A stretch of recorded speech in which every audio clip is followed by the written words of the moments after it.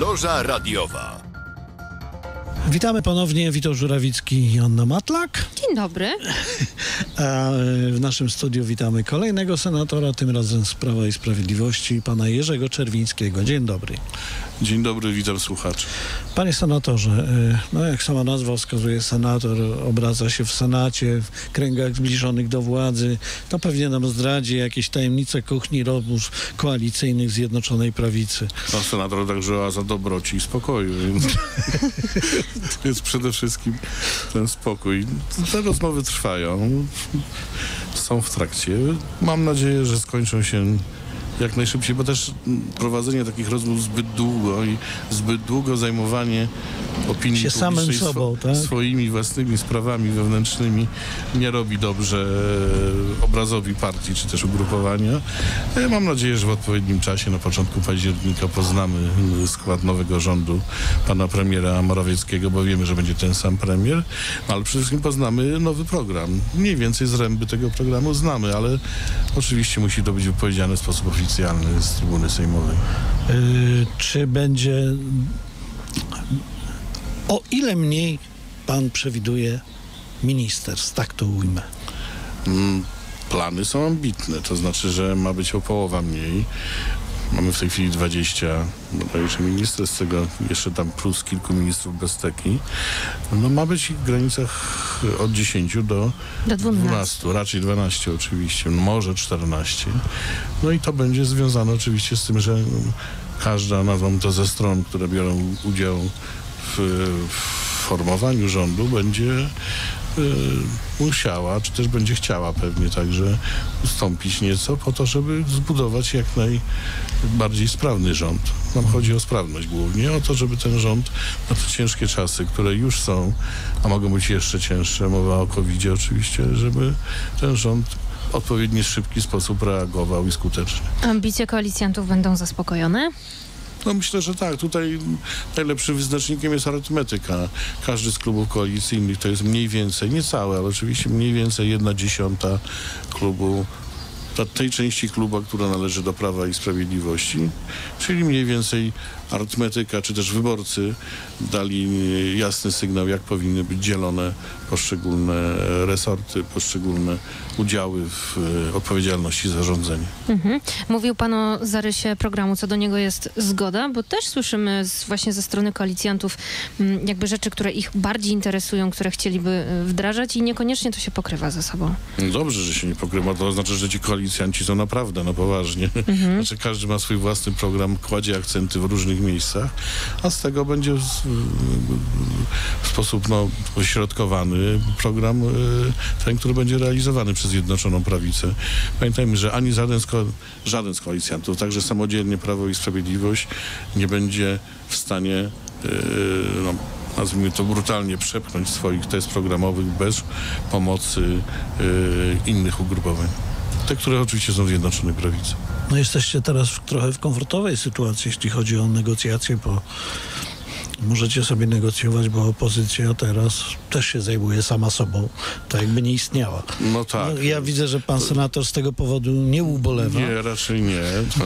No, opozycja ma problemy, ale one wynikają z pewnych, ja mówię, pewnych zaszłości. Już od dłuższego czasu już nie widzimy w opozycji w takiej roli, w jakiej powinna występować w normalnym systemie politycznym. Opozycja jest po to, żeby no, oczywiście krytykować poczynania e, mm, e, Rządzących. rządzących, koalicji rządzącej, no, ale nie w czampu, nie totalnie, bo tak się nigdy nie da e, niczego jakby pomóc, nie, nie, nie da się niczego sensownego wymyśleć konkretne, konkretne e, plany, konkretne ustawy, konkretne zapisy, wskazywać, gdzie są błędy, proponować e, lepsze rozwiązania, a nie mówić, że jest źle, a ma być jeszcze gorzej i tym karmić opinię publiczną.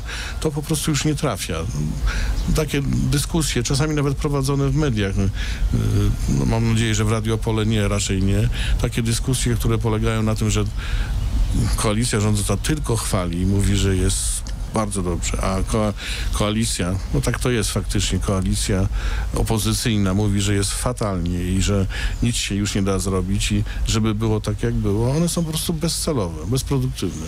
Znaczy, przydałaby się wam po prostu y, racjonalna opozycja, bo każda władza rdzewieje, jeśli Tak, nie tak, jest to prawda. poddawana krytyce. Tak. To jest prawda, oczywiście, no czasami dobrze by jest, gdy w, samym, w samej grupie rządzącej są takie siły, są takie osoby, które Autorefleksja. Mów, mówmy taka. wprost, mają własne zdanie i to zdanie wyrażają. Oczywiście w momencie, kiedy już się podejmie decyzję, no to głosujemy większością. E, To nie zawsze jest dyscyplina partyjna, ale ja mogę powiedzieć wprost, no, większość moją zasadniczą, zasadnicza większość moich głosowań, 99% jest zgodna ze wskazówkami klubu. No bardzo nieliczne są takie, które nie są zgodne z tą rozpiską klubową, którą my zazwyczaj dostajemy. Zaś Oczywiście, no opozycja powinna być bardziej, nazwałbym to merytoryczna, no ale po pierwsze zajmuje się sobą, po drugie nie wykorzystuje tych szans, które no same się jakby pchają w ręce. Proszę Państwa, jeśli kandydat na prezydenta, który był przeciwnikiem y, y, obecnego prezydenta Dudy, przegrał co prawda y, niewielką ilością głosów, tam kilkaset tysięcy, ale miał tych głosów 10 milionów, to to jest kapitał, który należy zagospodarować. No, Jeśli się tego kapitału nie wykorzystuje, on po prostu ulega rozproszeniu, no to efekt jest taki, jaki jest. To znaczy, my o opozycji słyszymy tylko wtedy, kiedy dochodzą nowe nazwiska, które budują swoje własne inicjatywy. Pierwsza, no to jest pan Trzaskowski, no, ma problemy z Czajką. Chociaż on nie miał jeszcze problemu z Czajką, z oczyszczalnią warszawską i też za bardzo do roboty, przepraszam za wyrażenie, się nie garnął. To znaczy, nie próbował jakoś wykorzystywać swoich y, no, tych, tych, tych, tych plusów, które, które mu przyniosła y, kampania wyborcza. Mamy teraz, y, no i miała być nowa, nowa Solidarność. Teraz będzie nowa nadzieja prezydenta Dudkiewicza, byłego prezydenta Wrocławia. Do tego dochodzi pan Szymon Hołownia ze swoją mm, Polską 2050-2050. Tych inicjatyw jest coraz więcej, no ale one pojawiają się dlatego, że główne siły zrąb, nazwałbym to, czyli mówmy wprost, Platforma Obywatelska plus współkoalicjanci z Koalicji Obywatelskiej nie wykonują swojej roli. No widać, jest pustka polityczna, bo no, polityka, jak i natura nie znosi próżni i w tą pustkę wstępują każde następne inicjatywy. Panie senatorze, ale też słyszeliśmy o tym, że y, sam prezes Kaczyński zresztą wspominał o tym, że były prowadzone rozmowy z Władysławem Kosiniakiem-Kamyszem. No on niezbyt chętnie by się widział gdzieś tam we współpracy z Prawem i Sprawiedliwością. Natomiast Paweł Kukiz, kiedy usłyszał te słowa, mówił Władysław Kosiniak-Kamysz mówi za PSL, a nie za Kukiz 15. No i też słyszymy o ym, panu pośle Sachajce, który mówi, że Tak. można by było z PiSem gdzieś współpracować. Jak się chce realizować swoje Jak się jakieś tak, cele, dokładnie. prawda? programowe. No, dlaczego nie? Oczywiście będzie, jesteśmy otwarci na te wszystkie środowiska, które uważają, że no, nie tak jak opozycja totalna, że wszystko jest źle, nic się nie da naprawić, ma być tak jak było, tylko ewentualnie swoje cele programowe, swoje mm, przemyślenia, swoje punkty wprowadzić do naszego programu i w, mówmy wprost, współrządzić, czyli wpływać na rzeczywistość. Bo Czyli pan by rządzenie- się nie zamykał na Kukiz 15? Hmm, na, na pewno nie. Na pewno nie i myślę, że nie ma tak, tak, takiego nawet zamiaru, żeby się zamykać na to. Yy, no właściwie nie partii, bo stowarzyszenie. Nie, oni chyba założyli partię, ale Tak, już, już, już są partią. formalnie jeszcze nie wiem, czy za, za, zaczęli funkcjonować, czy to partia zaczęła. No w każdym razie jest możliwość poszerzenia, nazwałbym to, o te, te, te formacje, czyli Zjednoczonej Prawicy, poszerzenia o te formacje, o tych ludzi nawet wprost, którzy chcieliby z nami współrządzić. Mamy trzy lata na spokojną zmianę Polski, ale przede wszystkim wyprowadzenie z kryzysu koronawirusowego. To jest podstawowe nasze zajęcie. Musimy wprowadzić Polskę na tory normalnego, szybkiego rozwoju. No a jeśli ktoś się zgadza z tym, że główny nasz cel, no on został wyartykułowany, nawiasem mówiąc, teraz w kampanii prezydenckiej, czyli to, żeby Polacy zarabiali po kilku latach wytężonej pracy, tak jak obywatele Unii Europejskiej z Zachodu, no to mam nadzieję, że ci, którzy tak uważają, że tak powinno być, będą z nami. Senator Jerzy Czerwiński, senator Prawa i Sprawiedliwości jest z nami wracamy do rozmowy po piosence. Panie senatorze, podobno w Senacie rozpoczęły się prace y, nad y, tym projektem podwyżkowym dla parlamentarzystów. Też Tomasz coś- Grocki zapowiedział już. Też coś czytałem, ja nie wróżę tej inicjatywie e, powodzenia z prostej przyczyny. No, był taki czas, kiedy wszystkie siły polityczne zgodziły się na te podwyżki. E, Nawet przegłosowały, przecież w Sejmie to przeszło. No a potem część z tych sił wystraszyła się nacisku głównie medialnego, a także po części wskutek walk frakcyjnych w Platformie Obywatelskiej, takiej, a nie innej sytuacji politycznej, no doprowadzono do tego, że część z tych sił straciła na y, zaufaniu, na, nikt ich nie będzie poważnie traktował, nikt ich nie będzie traktował jako siły odpowiedzialne politycznie i być może coś będą produkowały, być może tak, mówię w gronie ekspertów, ale z punktu widzenia politycznego ja nie widzę żadnej możliwości y, w tej chwili y, wrócenia do tego tematu, powrotu do tego tematu. Po prostu nikt już z tego typu politykami nie będzie poważnie rozmawiał. Ofensywa programowa Prawa i Sprawiedliwości jesienna, panie senatorze, y, na czym się będzie skupiać? Czy to będą głównie sprawy gospodarcze, czy na przykład może ideowe, bo y, jeden z waszych koalicjantów chciałby tak przejąć nadbudowę, a Nawet wiemy, o kim mówimy. Znaczy nie, no zazwyczaj program jest mieszanką. Mieszanką. Przede wszystkim trzeba dopilnować gospodarki, bo no, po pierwsze to najbardziej oddziaływuje na naszych obywateli, a po drugie jest potrzeba chwili, no, ten koronawirus. No, Od tego nie uciekniemy. A jeśli chodzi o kwestię tak zwanej nadbudowy, no to do tego w pewnym sensie jesteśmy zmuszeni, bo jest ofensywa e, no, to ideologiczna, która przypływa do nas z zachodu. Są wprowadzane takie zwyczaje, nie wiem jak to nazwać, imprezy, jakieś takie po, poglądy, które są w ogóle obce dla, dla Polaków. No, znaczy dla większości Polaków może w ten sposób. Większość Polski może poza tymi bardzo dużymi ośrodkami miejskimi w ogóle nie rozumie tych ludzi, którzy pod tęczowymi flagami manifestują. Podejrzewam, że gdyby tak zapytać przeciętnego obywatela, e, o co tak naprawdę chodzi tym, tym, tym ludziom, to nie, nie, nie podał po prostu jasnej odpowiedzi. No i niestety, ponieważ jest atak, no to musi być też obrona. I ta obrona powinna być nakierowana po prostu na zachowanie naszej tradycji, naszego sposobu myślenia, naszych zwyczajów, no, obrony także naszej historii po części, bo to pamiętajmy, że te nowe ruchy, one także próbują oddziaływać na, na, na świadomość także wstecz, nie tylko do przodu. A jakby ta obrona miała wyglądać?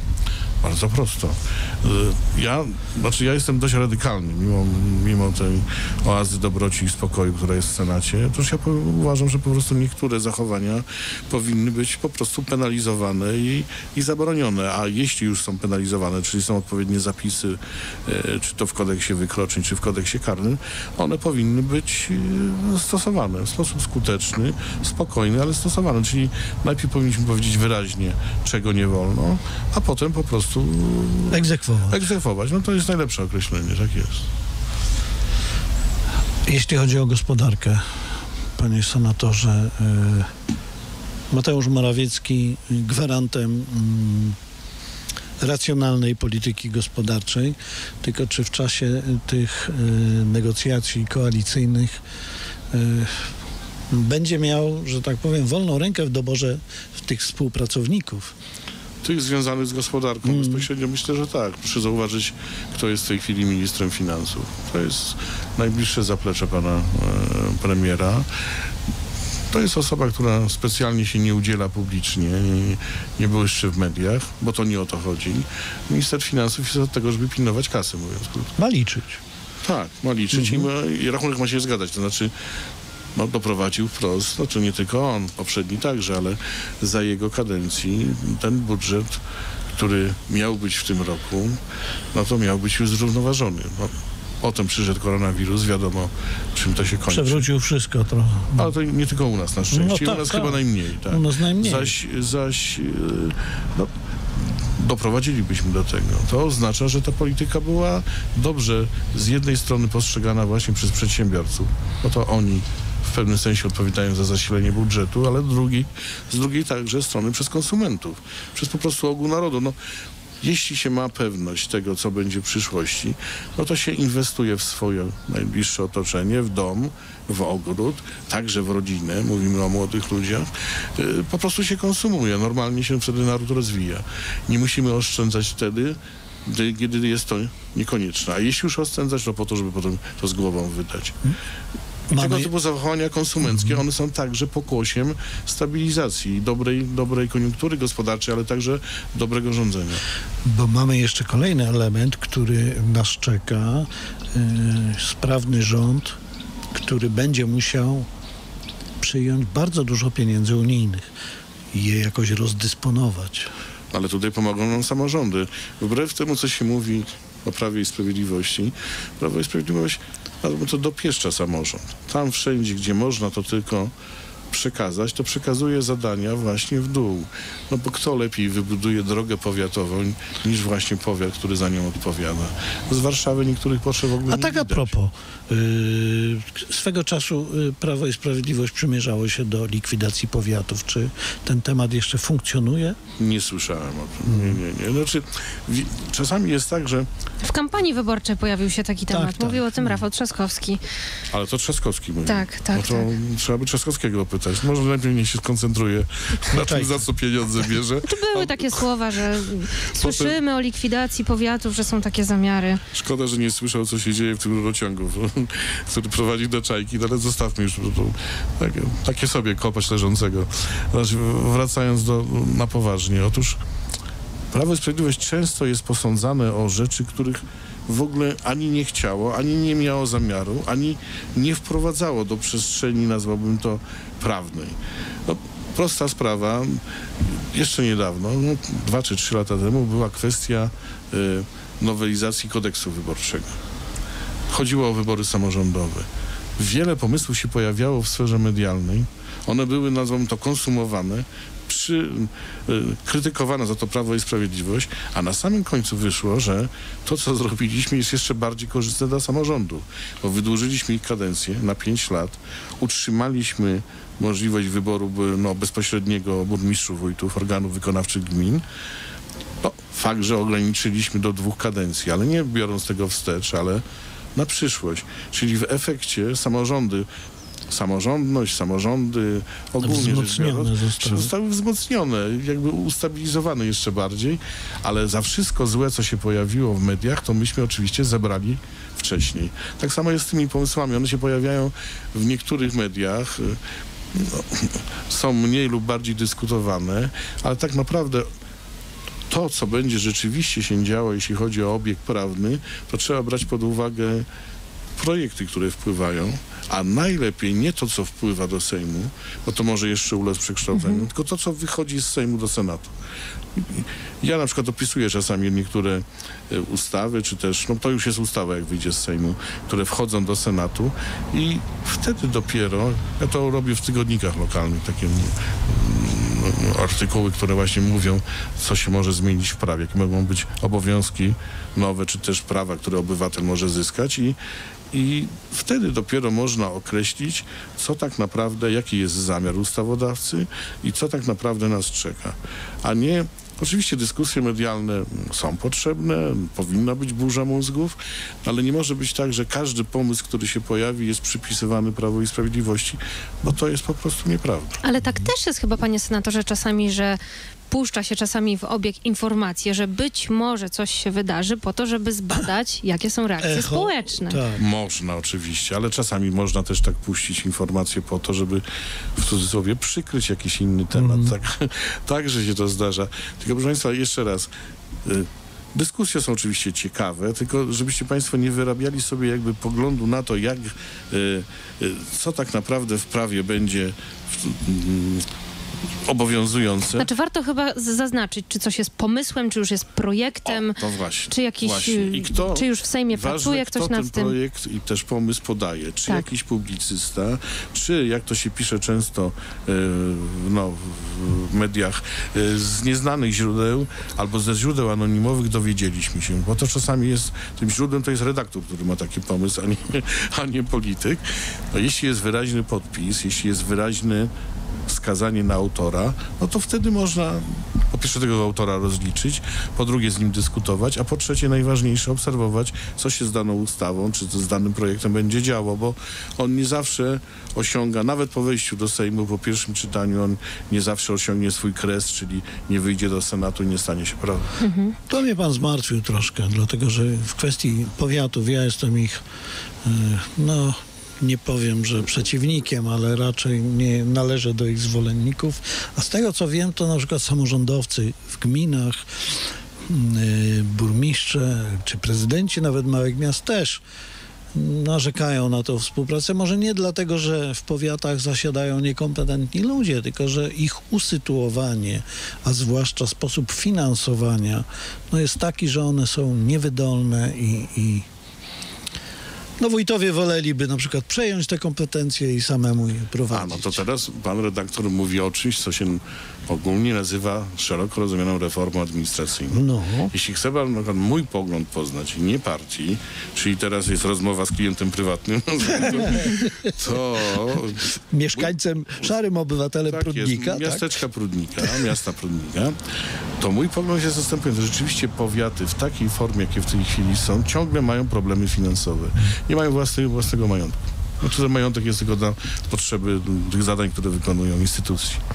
I rzeczywiście być może dla Polski byłoby lepiej, żeby po pierwsze zmniejszyć ilość gmin i na przykład niektóre gminy, które są gminami, mówmy wprost, słabymi, które tak naprawdę cały potencjał no, jest... Na przeżycie Na. Mm. przeżycie tak, urzędu, po prostu utrzymanie urzędników, tych najmniejszych gmin, żeby dołączyć je do silniejszych organizmów. Z drugiej strony na przykład zwiększyć ilość województw.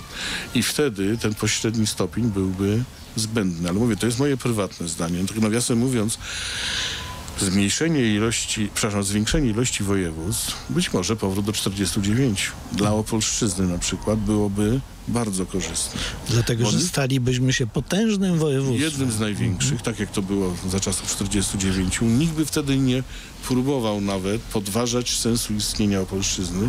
Co to za województwo, które ma mniej niż milion? Nie. To jest województwo, które ma prawie milion. I Takie jeszcze jaką gospodarkę. Też i co najważniejsze, no byłaby wtedy taka opolszczyzna w takim samym kształcie, jeśli chodzi o granice, no jednym z podstawowych podmiotów, jeśli chodzi właśnie o w skali kraju. No i mówię, ja przynajmniej na razie w obecnych zamierzeniach, czy też y, planach, czy też działaniach władz wojewódzkich, bo tu właściwie za to odpowiada sejmik, nie wojewoda. Wojewoda ma nadzór samo- samorządami, a sejmik powinien właśnie perspektywicznie myśleć o przyszłości. Jakoś nie widzę takiej refleksji. Przede wszystkim sprawdzenia, ile my w tej chwili mamy mieszkańców, ilu. Nie tylko tych zameldowanych, bo to jest ciemna liczba, ona nie jest prawdziwa, ale na przykład wyborców, tych, którzy płacą składki na ZUS czy, czy, czy, czy do NFZ-u, sprawdzenie tego, powiedzenie jaki jest stan obecny. Wiemy, że będzie gorzej. Będzie gorzej w całej Polsce, ale na Opolszczyźnie te procesy depopulacyjne idą najszybciej. No i pytanie, czy nie zacząć się starać, no taką, nie popierać takiej zmiany administracyjnej, bo ono na pewno gwarantuje pozostanie Opolszczyzny w takim kształcie, jak w tej chwili jest. Dobrze, to do władz wojewódzkich dojdziemy w trzeciej części. No, zgodnie z zapowiedzią spytamy o wojewódzkie podwórko. Y, Nie udało się PiSowi odwołać marszałka województwa, a czy w ogóle była taka szansa? Według mnie nie było takiej szansy. No to pytanie jest takie, czy ch- chodziło o to, żeby złapać tego króliczka, czy też żeby go Pogonić. pogonić. I myślę, że to drugie, czyli gonienie tego króliczka jest skazane ze względu na no, bardzo prostą sprawę. Ja zresztą o tym mówiłem, jak jeszcze byłem y, członkiem samorządu województwa. Przez dwie kadencje byłem w sejmiku. Mianowicie nierównomierny podział środków na poszczególne e, rejony województwa. I to się będzie niestety coraz bardziej e, pogłębiało. Efekt może być taki, że jeśli nie daj Boże, ktoś postawi pytanie, chcecie być w województwie opolskim, no to te rejony, które są marginalizowane powiedzą, a po co nam to? Tam może nam będzie lepiej. I No już niestety y, takie głosy słychać i to dość mocno od lat. Y, Były. Na przykład w brzegu i okolicach. były słyszalne, a tutaj jakby nie, nie widać refleksji na ten temat. A pamiętajmy o jednym, no nikt nie chciałby być potem nazwany tym ostatnim marszałkiem grabarzem województwa opolskiego. Tu ku, ku przestrodze. Równomierny rozwój województwa, tak jak my postulujemy równomierny rozwój kraju, nie pompowanie tylko niektórych rejonów ze względu na zamieszkanie takiej, a nie innej mniejszości, ewentualnie centrum, które jest no, z racji swojego, swojej pozycji i tak najszybciej rozwijającym się miastem, mówię o Opolu, według mnie byłoby bardziej jakby logiczne, to znaczy ono w sumie spowodowałoby szybszy rozwój całości województwa. Tak w tej chwili nie jest. Nie wiem, czy, czy władze stać na to. Być może po zmianie koalicji będzie stać na to, że będą miały inną receptę na rozwój województwa. Bo w tej chwili to nie doprowadzi do, do, do rozwoju, ale my będziemy cały, może tak, będziemy stać w miejscu, czyli efektywnie się cofać. Dwa duże ośrodki, czyli Dolnośląskie i Śląskie będą nas coraz szybciej jakby przeganiać i, i, i odchodzić no, od nas, oddalać się od nas. Ale to co, panie senatorze, te kolejne lata do wyborów samorządowych będziemy patrzyli na to mm, gonienie za króliczkiem? Tak powinno być? Nie, według mnie powinna być refleksja już w samym, w samym zarządzie województwa. Wiadomo, że się utrzyma. Zarząd województwa, No bo koalicja jest stabilna. ona jest stabilna, ale niech pomyślą o sobie, czy chcieliby być nazwani grabarzami województwa. To jest najważniejsze pytanie dla nich. No, jeśli chcą rzeczywiście rządzić, rządzić efektywnie, to muszą zmienić sposób rządzenia. Nie może być tak jak teraz. No już nie mówię o tych kwestiach związanych z y, prokuraturą, bo to, to znaczy poboczny wątek, ale przede wszystkim powinna być zmiana nazwijmy to strategii rozwoju województwa. Województwo musi być jednością, a nie pompować tylko środki w stronę centrali. A tak powiedział senator Jerzy Czerwiński, senator Prawa i Sprawiedliwości. Bardzo dziękuję panie senatorze za wizytę. Dziękuję Już również. kończymy. A my się również żegnamy. Joanna Matlak. Witold Żurawicki. Jutro o 12 się słyszymy. Dziękujemy. Loża radiowa.